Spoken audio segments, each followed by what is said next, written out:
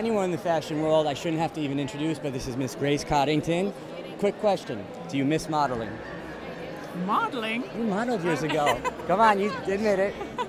Uh, um, I, just about, I remember. Uh, no, I don't miss modeling at all. Okay. And I don't think it misses me either. Oh, come on, I you still got the look. popular, you know. I was, um, It wasn't your I, passion. I was popular in England, and that's a small country, so. Hey, without England, you know, I mean, look at England lately. We love them, the, the whole royal family, that took over everything, that wedding. You gave us something to do. Yeah, yeah. Now, your love And hate, very beautiful too, yeah. isn't it great? Yeah, I still have all my British friends, but Mm. I haven't spent a lot of time, I'm very sad to say, in England. Not a lot of tea and crumpets lately, huh?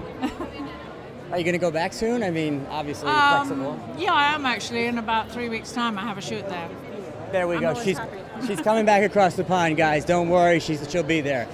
And the love-hate relationship with the stress and the tension. What was the closest you guys ever came to maybe going at it, or you walking out the door? Me and who? Anna.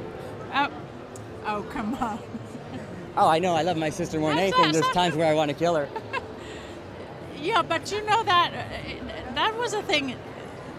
They took it out of context. They should have written. If you read the whole piece, Which they don't want you to. You know, it's. I always qualify. I mean, love and hate are very close. So, what can I say? Yeah. You know, uh, of course we argue. It's very healthy to argue. I think. Well, you're strong girls with strong opinions, and Yeah. you have your ideas, and God knows Yeah. I wouldn't get in front of you. I'd be like, that's okay, Grace. Whatever you say. Yeah, you can. No, no, I would never.